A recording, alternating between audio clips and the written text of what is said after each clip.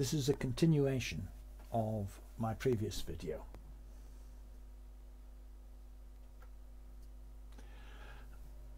I first read Marx's Capital by myself as a first year undergrad economist.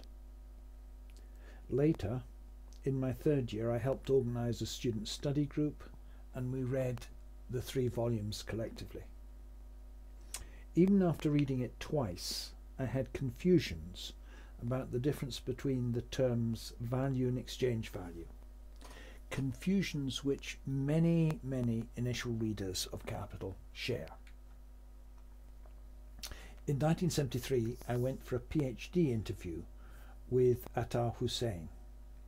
He'd recently published an English translation of Marx's Notes on Wagner. And that's significant because that is the last text that Marx wrote that deals with value and is taken by many to be his final thoughts on the topic. Listening to um, Athar, I realized I had fundamentally misunderstood things.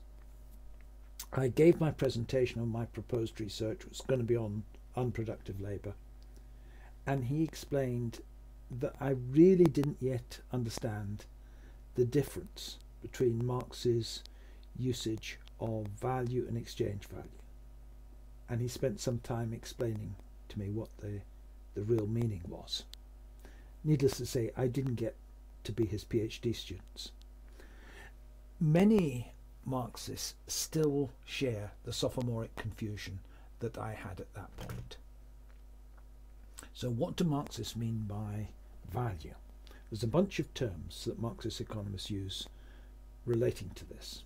They use the term use value, exchange value, value form, value substance, labor value, value itself, price. Now, how do these terms relate to one another? Which ones mean the same thing and which ones mean different things? Which are subsets and which are supersets of one another? And I'll, I'm going to explain in this video what I understand them to mean and I'm closely following the explanation that Professor Hussain gave me is now almost half a century ago. So let's look at the source. The utility of a thing makes it a use value. But this utility is not a thing of air. Being limited by the physical properties of the commodity, it has no existence apart from the commodity. A commodity such as iron, corn, or a diamond is therefore, so far as it is a material thing, a use value, something useful. It's a fairly simple definition, but there are some possible confusions. The most common confusion an initial reader makes is to confuse this with utility in orthodox economics.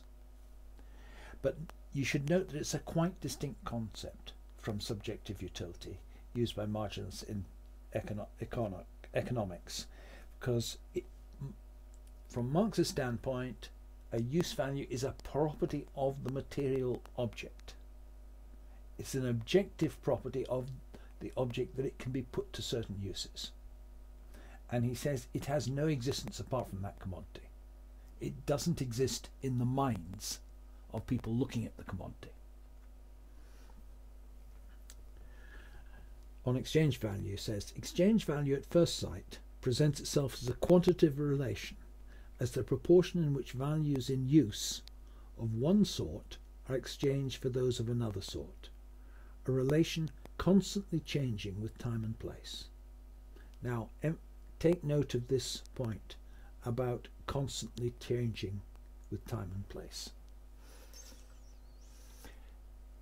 He's saying it's something that changes all the time. It's not something intrinsic. Exchange value appears to be something accidental and purely relative. Consequently, an intrinsic value, i.e., an exchange value that is inseparably connected with and inherent in commodities, seems a contradiction in terms. Now, this is a point. By exchange value, Marx means the same thing as form of value. First, the valid exchange values of a given commodity express something equal. Secondly, exchange value is generally only the mode of expression, the phenomenal form of something contained in it yet distinguishable from it. It is a phenomenal form exchange value. Marx here is using the distinction which comes from Aristotle between form and substance. The form is distinct from what it expresses. What the form expresses, in the case of commodities, is the value substance. And of this he says, as values, all commodities are only definite masses of congealed labour time. We see then that which determines the magnitude of the value of any article is the amount of labour time socially necessary or the labour time socially necessary for its production. This is the famous labour theory of value that labour is the substance of value, and the magnitude of labour used determines the magnitude of value. Now we come on to price. The elementary expression of the relative value of a single commodity, such as linen, in terms of the commodity such as gold that plays the part of money, is the price form of that commodity. The price form of linen is therefore 20 yards of linen equals 2 ounces of gold, or if 2 ounces of gold when coined are 2 pounds, 20 yards of linen equals 2 pounds. So price is a developed form of exchange value. In Marx's day, coins were gold, so that when you purchased something with gold sovereigns, what happened was there was an exchange ratio between gold as a commodity and the thing you were purchasing. Nowadays, it's an exchange ratio with a fiat money, so it becomes more abstract.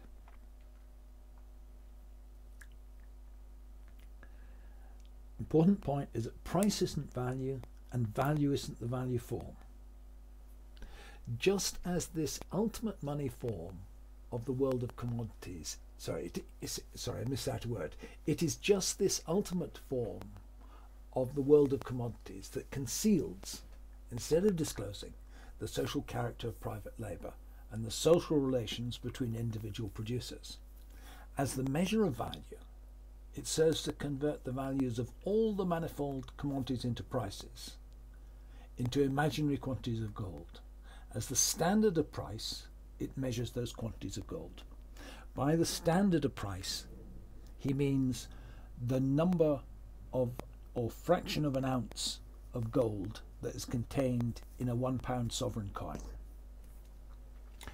Price depends not only on the value of a commodity, but therefore also on the value of money.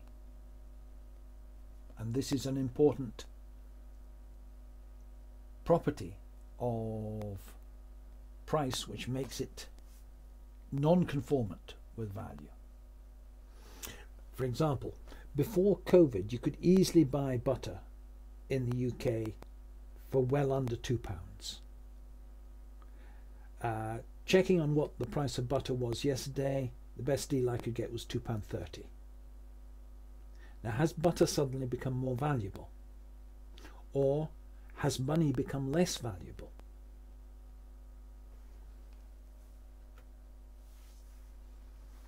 Money becoming less valuable means that one pound represents fewer minutes of labour.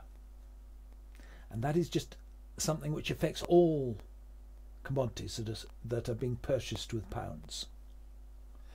But relative prices also change a lot. On the right, there is a graph of gas prices, wholesale gas prices, the spot gas price that gas uh, selling companies, companies that sell gas to the final consumer, purchase it from gas producing companies. And you can see it undergoes huge variations. Uh, the scale of the variations are astonishing. Here we have in for a brief period in looks like July the price fell to about five pence a therm by um, say the end of September it was over five pounds a therm that's a hundredfold variation over the course of a couple of months. So, has the value of gas been changing? Or does exchange value misrepresent value? Well, clearly, the amount of labour required to produce gas was not jumping around from day to day. It didn't require a hundred times as much labour to produce gas in September as it did in July. Of this, Marx says, supply and demand regulate nothing but temporary fluctuations of market prices. Though explain why the market price of a commodity rises or shrinks below its value, but they can never account for that value itself. That is to say, you should not and should never mistake the exchange value of a commodity with its value. They're quite distinct things. Price, which is equal to exchange value, which is the value form, is quite distinct from value. And it's only over the long run that value set by the conditions of production regulates price. Day to day, it doesn't. Day to day, you're dominated by short term movements of supply and demand.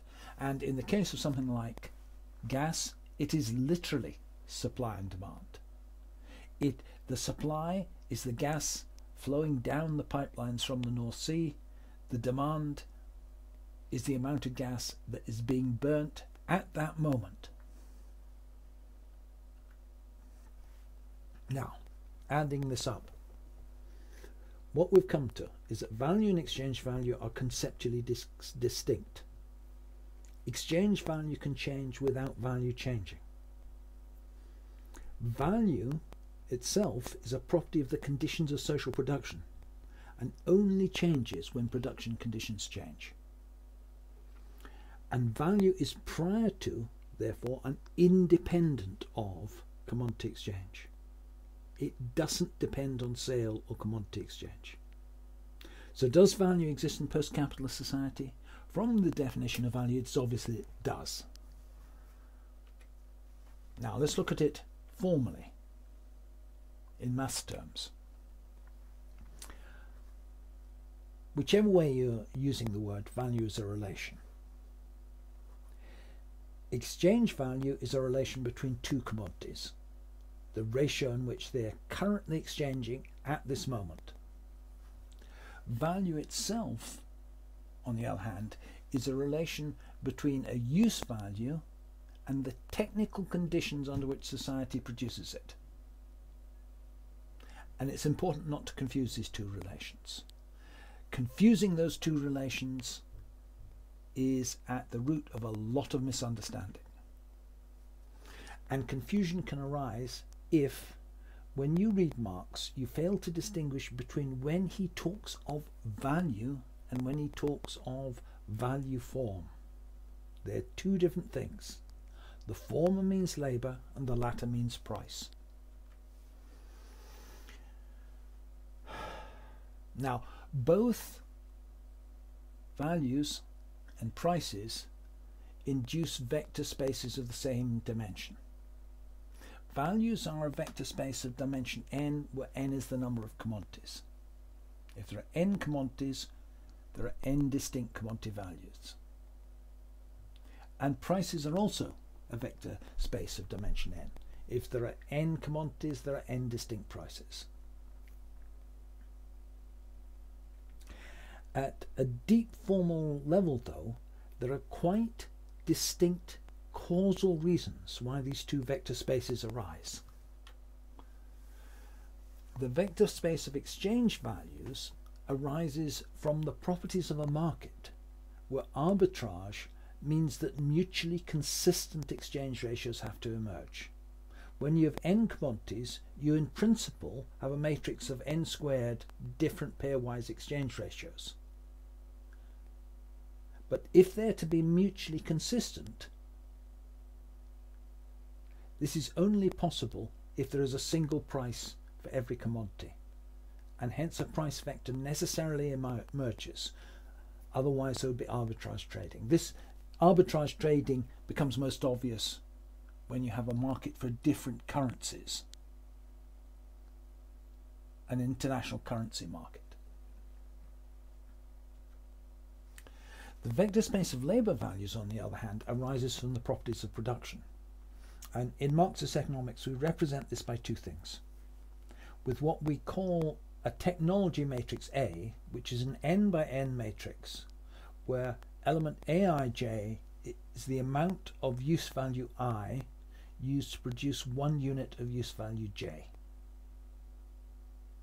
This is a formal mathematical way of describing the conditions of production. In addition to that, in Marxist economics, we say there is a vector lambda of labour inputs, where lambda i is the amount of labour used directly to produce one unit of use value i. Those are the two formal properties of the uh, formal descriptions of the conditions of production. And it can be shown that this results in a unique vector of total labour contents associating a labour value with each use value. Um, the, the original source for showing that clearly was Morishima's Marxist mathematical treatment of Mar Marxist economics.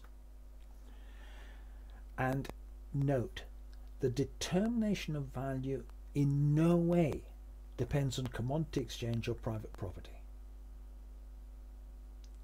The technology matrix is a matrix relating types of use values. It's not relating monetary values, not relating exchange values.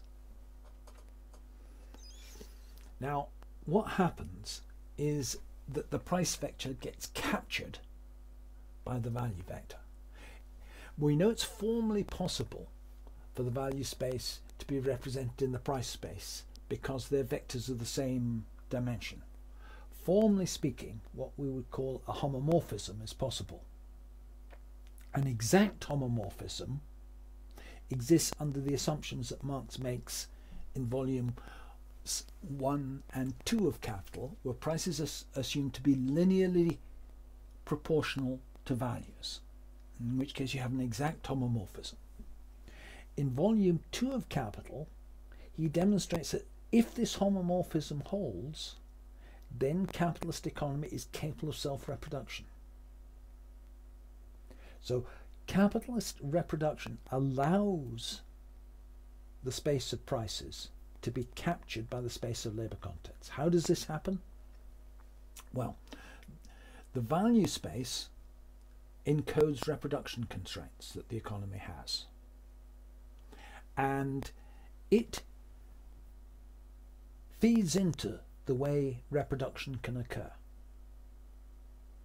The back arrow on the reproduction here indicates the um, fact that means of production are fed back into production.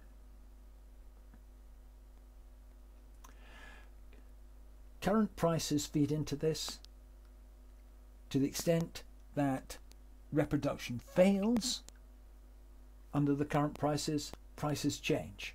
So the price space is driven by the reproduction process. And this induces an enforced homomorphism, an approximate hom homomorphism, between the value space, which derives from the technical conditions of production, and the price space, which arises from the reproduction of those technical conditions of production under capitalist property relations.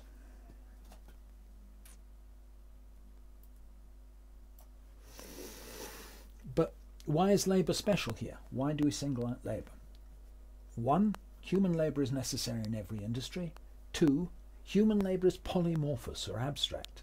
People can be trained up for any trade. It's therefore a universal resource from the standpoint of the economy. Thirdly, every pop the population of every nation is finite, and people can only work part of the day. So labour acts as the ultimate constraint on the structure of social production.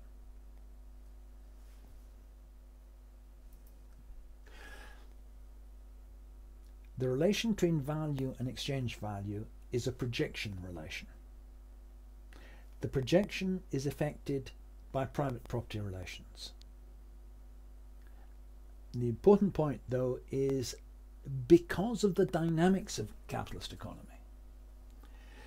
the space of value vectors has a one-to-many projections onto the space of price vectors. We saw that in the case of wholesale gas prices.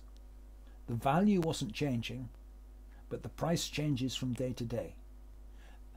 There's a whole batch of prices which are being represented noisily, which are noisily representing the values. In terms of communication theory, it's what we would call a noisy channel. What's being transmitted is not what emerges at the end as prices. So the source of the signal is labour time, labour value. It feeds through private property relations that acts as a noisy channel which gives an inaccurate projection onto the form assumed by value, the value form, exchange value, which is strictly speaking a superset of prices to the extent that any non um, monetary bartering takes place. Now, touch on the politics of these questions. Value Form School, which is, rose to prominence after the fall of East Germany. And the confusion between value and exchange value reach its, really reaches its maximum in this school. Their argument is that value is inseparable from the value form, and hence it's sale that validates value.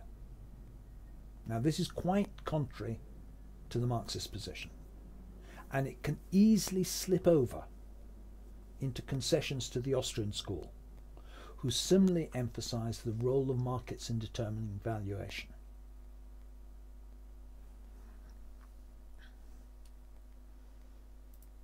Now, it has been a long lasting controversy. Here we have Stalin saying, but the operation of the law of value is not confined to the sphere of commodity circulation. It also extends to production. True, the law of value has no regulating function in our socialist production, but it nevertheless influences production, and this fact cannot be ignored when directing production. What does he mean by this? Unless production engineers know the labour requirements of the inputs they use, it's impossible for them to rationally select inputs that are economical for society as a whole. Stalin's book on the economic problems of socialism is one long lament about the practical mess you can get into if you think you can simply abolish the law of value. Now, what is the causal chain? In the two cases. What drives it are changes in technology, development of the productive forces, in other words, or changes in environmental conditions. For example, the relative exhaustion of the Baku oil fields necessitating the development of the Siberian oil fields. This changes the labour necessary to make things. Now, if you're in a capitalist economy, this changes the long run average exchange values or market prices. If you're in a communist economy, it changes partly the labour values at which consumer goods are distributed. But it also should change the relative social labour costs published to production engineers of the different inputs to production. And as I said, a lot of Stalin's book complains about the fact that the guide prices set for engineers in the USSR in the 1950s were far too diverged from accurate calculations of values to allow rational planning to take place. So, the same thing, the law of value, produces its effects under different social forms. But it produces different effects. And to operate properly, any communist economy has to take it into account. Otherwise, you get irrational waste of resources.